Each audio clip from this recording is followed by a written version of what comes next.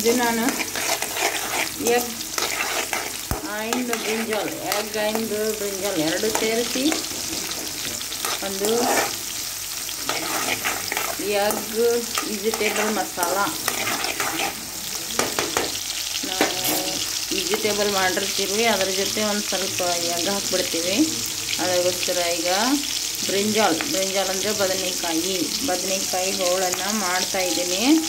ಈಗ ಇದಕ್ಕೆ ಉಳ್ಳಾಗಡ್ಡೆ ಮತ್ತು ಒಳ್ಳೆಣ್ಣೆ ಹಾಕಿದ್ದೀನಿ.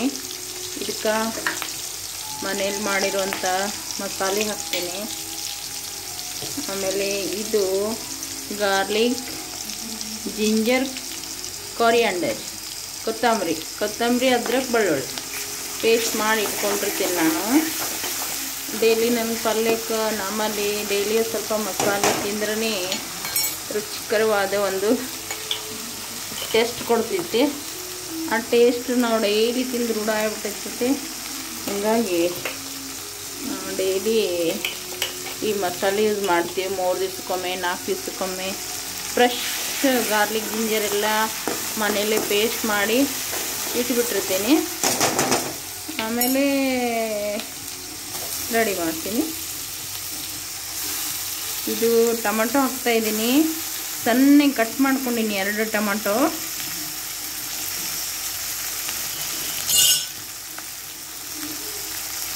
ಟೊಮೆಟೊ ಸ್ವಲ್ಪ ಮೆತ್ತಗಾಗಬೇಕು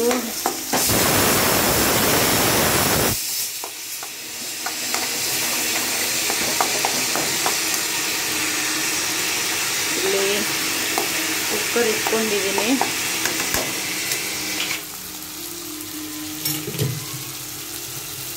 ಇದಕ್ಕೆ ಬದನೆಕಾಯಿ ಕಟ್ ಮಾಡ್ಕೊಂಡಿದ್ದೆ. ಸ್ಲೈಸ್ ಆಗಿ ಬದನೆಕಾಯಿ ಹಾಕೊತೀನಿ ಆಮೇಲೆ ಉಪ್ಪು ಹಾಕ್ತೀನಿ ಇದಕ್ಕೆ ಸ್ವಲ್ಪ. ರುಚಿಗೆ ತಕ್ಕಷ್ಟು ಉಪ್ಪು.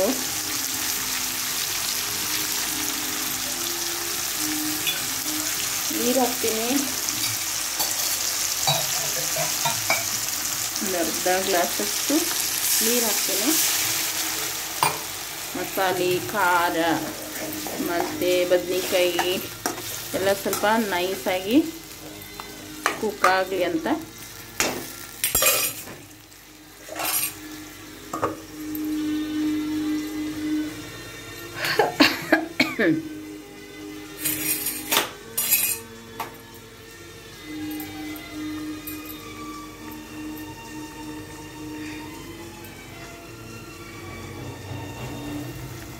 ಕುದೀತಾ ಇದೆ. ಇದು ಒಂದು ಎರಡು ನಿಮಿಷ ಕುದಿಬೇಕು.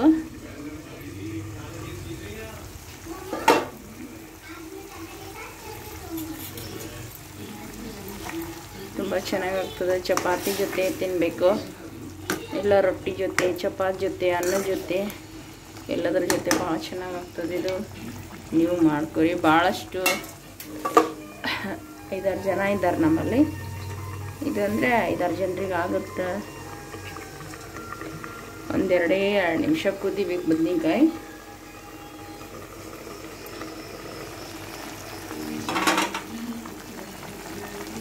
ಕುದೀತಾ ಇದೆ ಈಗ.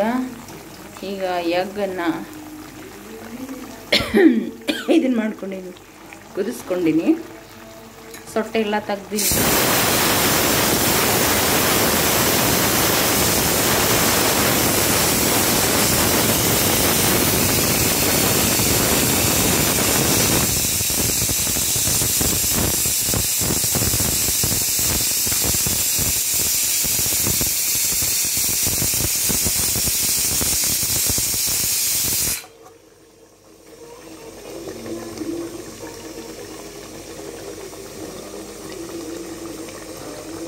ಕುದೀತಾ ಬಂತೀಗ